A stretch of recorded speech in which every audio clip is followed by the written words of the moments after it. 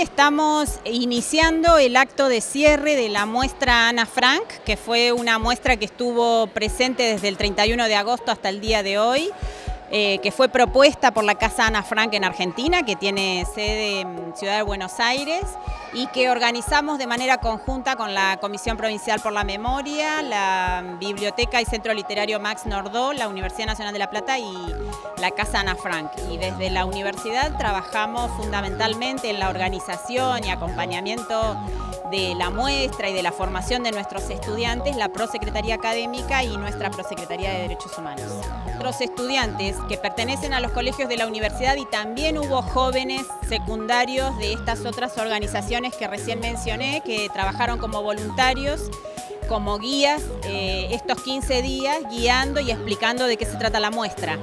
Eh, así que en el día de hoy lo que vamos a hacer es proceder a la entrega de un certificado por esa formación y por esa tarea donde ellos eh, se han convertido en guías de la muestra de la Casa Ana Frank y bueno, y algunos obsequios y es como un momento de reconocimiento y de cierre colectivo para una experiencia que para nosotros fue muy linda, muy conmovedora y que de alguna manera invita una vez más a renovar el compromiso con la defensa y la lucha por los derechos humanos.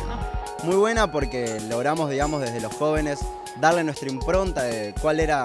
eh, cómo vimos todos estos procesos nosotros y de cómo esos procesos hoy en día podemos encontrar algunas cosas que siguen estando y que hay que seguir luchando, digamos, desde la juventud y desde la educación para que no vuelvan a pasar y para eh, empoderarnos en saber cuáles son nuestros derechos y defenderlos. Sentí que realmente estábamos transformando algo. A mí eh, realmente hablar sobre estos temas me encanta y que nos llamen a los más jóvenes a hacerlo me parece algo que no ocurre siempre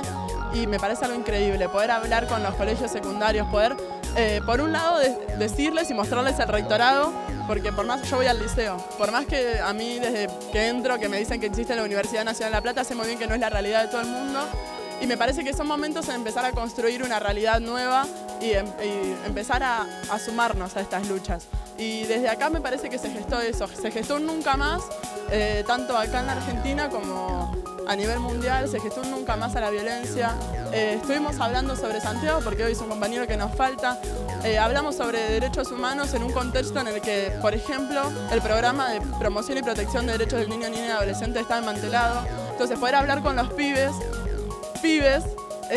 sobre los derechos humanos, sobre la vulneración de derechos de ayer, de hoy, sobre la organización, sobre la importancia que tienen, por ejemplo, una sección de de la muestra, la importancia que tienen los organismos de derechos humanos y la organización y cómo es importante salir a hablar de lo que nos pasa. A mí me encanta, realmente yo sentí que lo que se gestaba acá no, no, no siempre pasa.